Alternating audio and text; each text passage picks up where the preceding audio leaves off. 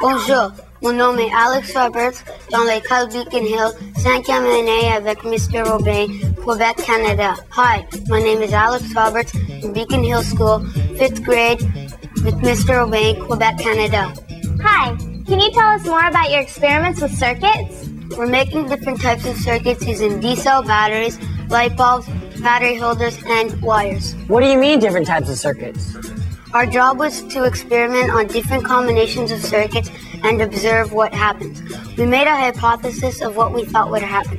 One student made a light bulb really bright with two batteries and one bulb. Another student lit two bulbs with just one battery. He found out that if he unscrewed one of the bulbs, the other went out too. This is called a series circuit. Aha! I was right. If one light bulb goes out, they all go out. Well, our teacher asked us to try and design a circuit with more than one load, like a bulb buzzer or motor that will keep on working if we remove one of the loads. One student drew a diagram with the same numbers of bulbs and batteries and used more wires going to each bulb.